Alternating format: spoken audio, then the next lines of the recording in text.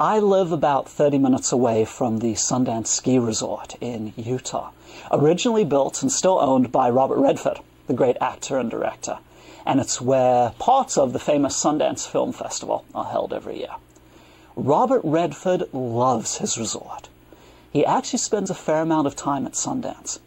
If you live in Utah County long enough, you have a pretty good chance of actually running into the man. One day, a woman was at a local ice cream parlor there in Utah. While she was waiting in line to get her ice cream cone, she hears the bell on the door ring behind her. Turns around and in walks Robert Redford himself. She gets very excited, but she decides, you know what? I'm a grown woman. I'm not going to bother the man, ask him for his autograph, or anything else. I'm just going to let him have his ice cream in peace. She left the ice cream parlor feeling very pleased with herself that she didn't talk to Robert Redford.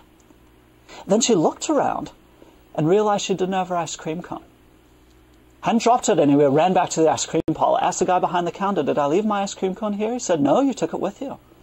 Then she feels a tap on her shoulder, turns around, and there's Robert Redford. He says, Ma'am, I believe your ice cream is right where you left it. It's in your purse. what was Robert Redford giving her? Information to help her align her actions with that one goal of finding the ice cream cone. And that's all feedback is. Easy to say, a little more difficult in practice. Some of the big complaints we've heard about feedback from participants in the past is feedback that isn't timely, it comes too late, or feedback that doesn't come at all, not enough regular consistent feedback. Feedback that is vague, that's inaccurate, that's unfair.